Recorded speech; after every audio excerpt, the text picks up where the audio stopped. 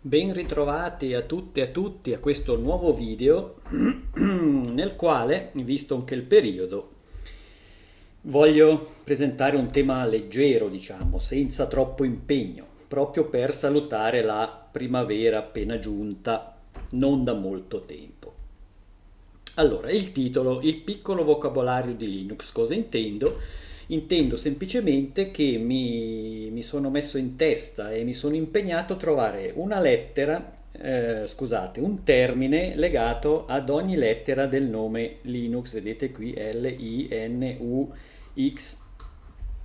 E così giusto per descrivere Linux in un modo un po' diverso. Ecco perché il titolo del video, il piccolo vocabolario di Linux.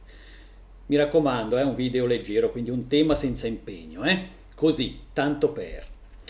L, quindi la prima lettera della parola Linux, ho deciso di legarlo a termine libertà, perché eh, L come libertà di poter usufruire di Linux, perché milioni di utilizzatori, consapevoli o meno, stanno utilizzando e usano tutti i giorni Linux, quindi si è liberi di poter usufruire di Linux così come anche di contribuirvi uh, al progetto che eh, eh, continua a far sviluppare Linux ed ecco che quindi ho deciso che libertà era un buon termine da legare alla L quindi usufruire e contribuire ad un progetto su scala mondiale, ecco come Linux. Infatti, come sappiamo, eh, come dovremmo ormai sapere a questo punto, Linux è un progetto ehm, software eh? è un progetto di programmazione di codice software open source, quindi del quale chiunque può liberamente approfittare e al quale chiunque può liberamente partecipare. Ecco, voilà, questo per, ecco perché ho scelto la parola, il termine libertà per la L. Passiamo alla I, quindi LI, come eh, intelligenza collettiva. In che senso? Nel senso che eh, mi sembra evidente, almeno sempre secondo la mia opinione, ecco, secondo il mio punto di vista, solo l'insieme degli sforzi intellettuali di centinaia di brillanti cervelli sparsi in tutto il mondo può aver portato al successo planetario di Linux così come lo conosciamo oggi e quindi può aver portato il progetto al livello, alla portata attuale. Proprio perché Linux è un progetto collettivo, e, e quindi il, il, risultato, il, il, risultato finale, quindi ogni versione di kernel di Linux che noi possiamo installare o che abbiamo installato sulle, nelle nostre distribuzioni Linux, nei nostri sistemi operativi, eh, queste, queste, versioni sono il frutto del, dell'insieme degli sforzi di centinaia veramente di sviluppatori brillanti sparsi in tutto il mondo. Quindi ecco perché ho deciso di associare la I a eh, due termini diciamo, che, che formano un concetto di intelligenza collettiva. Passiamo alla N, N come neutralità. Allora, in che senso? Quindi Linux è un progetto neutrale, nel senso che permette a chiunque, senza pregiudizi, di partecipare in egual misura. Cosa intendo per chiunque? Quindi non importano il vostro paese di provenienza, la vostra etnia, la vostra fede, il vostro sesso, niente, tenuto conto ovviamente delle vostre capacità tecniche perché bisogna pur dire che è vero che Linux è un progetto open source, ma se non si hanno una determinata base tecnica e delle conoscenze approfondite in programmazione su determinati linguaggi, in questo progetto ci potete fare poco. Magari, perché no, potete contribuire alle traduzioni. Ecco, questo è sempre un aspetto parallelo ai progetti di software in quanto tali che ehm, permette una partecipazione più, più, semplice a chi se la sente, la traduzione intendo, perché noi possiamo, possiamo usufruire di, di, Ubuntu come di altre eh, distribuzioni Linux nella nostra lingua, ma non è che questo magicamente dalla sera alla mattina si trasforma in italiano piuttosto che in arabo, piuttosto che in russo, piuttosto che in tedesco, francese anche qui dietro ci sta una comunità di professionisti e volontari che nel loro piccolo aiutano a tradurre tutto quanto noi vediamo sul nostro desktop, nella nostra lingua.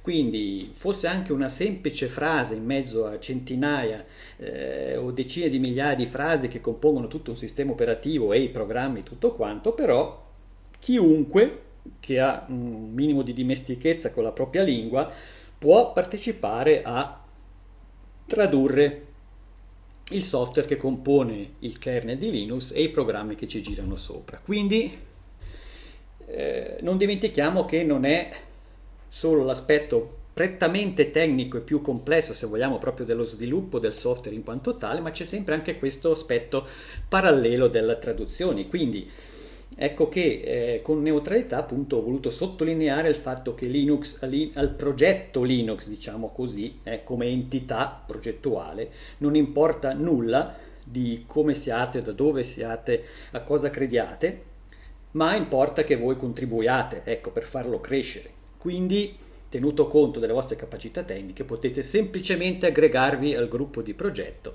e far crescere eh, eh, questo, questo progetto Linux appunto da ogni angolo del pianeta. E quindi neutralità inteso come equidistanza da qualsiasi fonte di, eh, di contributo che arrivi da qualsiasi parte del mondo. Passiamo alla U, siamo quasi alla fine, ormai Linux fortuna che è un nome corto, Linux no hai voglia. La U come universale. Ecco, Linux è indubitabilmente la scelta preferita per il cuore dei sistemi operativi impiegati in tutte le attività umane, dallo spazio, quindi fuori e lontano dal nostro pianeta, alle miniere, quindi dentro nelle viscere del nostro pianeta, quindi ai due estremi eh, dalle comunicazioni alla medicina, alla robotica, alla domotica, dagli elettrodomestici agli smartphone e aggiungete quello che volete voi, dappertutto state sicuri che in un modo o nell'altro, in una forma più o meno ampia, più o meno ristretta, Linux c'entra sempre ormai al giorno d'oggi. In questo mondo informatizzato e digitalizzato, Linux è come dire il buon vecchio prezzemolo, c'è dappertutto. Ecco, ecco perché ho associato la U universale.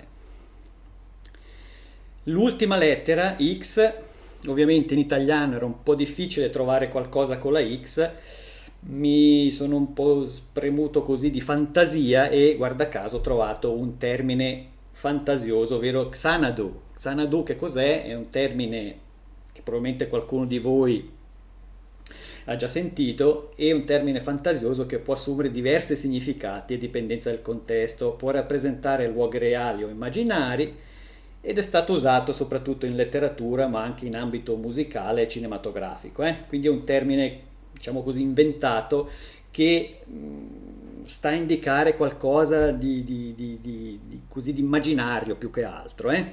Quindi è una parola in sé un po' strana, anche suona anche un po' strano, che porta con sé un certo alone onirico, laddove quindi in un ambito laddove nei sogni po' tutto è possibile, anche l'assolutamente impossibile è possibile nei sogni e quindi eh, Xanadu porta con sé un, un significato o un concetto di, di, di, un luogo, di un posto, di un metodo eh, che è confinato solo dalla nostra fantasia, quindi praticamente senza confini. E Linux, perché ho legato Xanadu a Linux? Perché un po', eh, visto la sua omnipresenza e la sua poliedricità, non so se si dice in italiano, Linux è, è un qualcosa, un progetto poliedrico, molto malleabile, adattabile e quindi Linux ci avvicina un po' a questo ideale che ci porta a questo termine Xanadu. Quindi, come ho detto prima, eh, Linux è presente dappertutto, no? dagli elettrodomestici ai droni ai robot, mi ripeto un po' rispetto alla, alla, alla lettera precedente, i satelliti, le stazioni spaziali internazionali, dappertutto. Quindi di fatto vuol dire senza confini e senza limiti, appunto, come eh, Linux fosse una Xanadu tecnologica. Ecco perché ho deciso di usare questo termine o fantatermine per la X di Linux. Ecco, questo era quanto praticamente eh, volevo raccontarvi appunto come, come, tema leggero così, tanto perché in primavera, insomma, cambio di stagione, eh, si sta un po' di più all'aperto, quindi chi ha voglia di impegnarsi in un video più intenso, mh? Mm, e quindi ecco qua, così, praticamente volevo come dire, fare lo spelling, come si dice in inglese, del nome Linux, lettera per lettera, e assegnargli un, un termine che per me ha un significato particolare e, e, e, e che si combina bene col, con l'ideale di Linux. Ecco, poi magari voi nei commenti potete suggerirne altri, eh, perché no? Giusto per non finire così brutalmente e per farvi capire perché ho tenuto per tutto il video questa pagina di questo sito eh, nello sfondo del video, techcuriosity.com, perché ho trovato per caso eh, questo sito, non è che non mi era conosciuto fino a pochi giorni fa, l'ho trovato per caso e restando più o meno in tema di vocabolario di Linux, ecco che vi segnalo questo sito che vi lascio ovviamente nella, ehm, nella descrizione del video, eccolo qua, il link, perché ve lo segnalo? Perché questo sito, a parte che eh, è in inglese, ma pazienza con i traduttori tipo Google Translator ci, ci se la può cavare, eh, anche se non si conosce l'inglese. Comunque, a parte questo, la, la, pagina che vi si presenta quando cliccate, cliccherete su questo link è una pagina dove vi spiegano eh, ehm, che cos'è il sistema operativo Linux, un sistema operativo Linux, i vantaggi, eccetera, eccetera. E la cosa interessante però eh, relativa in un certo senso al vocabolario di Linux è che in fondo a questo articolo, che può essere comunque interessante leggere, ma non era questo il, il, il, motivo principale per cui vi presento questo sito, il motivo principale è che in fondo ho scoperto proprio scorrendo la pagina che la, la, la, persona, penso, o le persone che gestiscono questo sito hanno avuto la, l'ottima idea di ehm, creare delle pagine in ordine eh, per lettera dell'alfabeto, eh, questa volta non solo di Linux ma di tutto l'alfabeto, vedete qua, questi tag, queste etichette, Linux Commands A, B, C, D, eccetera, eccetera, fino alla Z, cosa, cosa hanno fatto? Hanno creato delle pagine suddividendo in ordine alfabetico quindi tutti i comandi del kernel Linux. Quindi se voi cliccate su A, per esempio, vedete raggruppati con una piccola descrizione eh, concisa sulla, sulla, destra di ogni comando, quindi per la lettera A tutti i comandi che ci sono nel kernel Linux disponibili ehm, diciamo così a terminale, eh? tutti questi sono comandi del kernel Linux che voi potete usare aprendo una shell da terminale. Vedete tutti quelli che hanno l'inizio del nome con la A e poi si va avanti così, quindi B, C, D, eccetera, eccetera, so, con la T vado a caso clicco sulla T e vedete i comandi che ci sono sotto la lettera T. Ecco, ho deciso di segnalarvelo un po' perché capite adesso che ha a che fare in un certo qual senso con il vocabolario di Linux in un certo modo, in un senso lato e anche perché può far comodo a chi usa il terminale che non si ricorda magari come si chiama completamente un certo comando, però magari sa che iniziava, che ne so, con la lettera T, però non mi ricordo come si scriveva questo comando. Ecco che qui sono in ordine alfabetico, si può scorrere lettera per lettera, che non è tanto lungo l'elenco di ogni lettera, e si può trovare facilmente il comando con la sua descrizione a parte.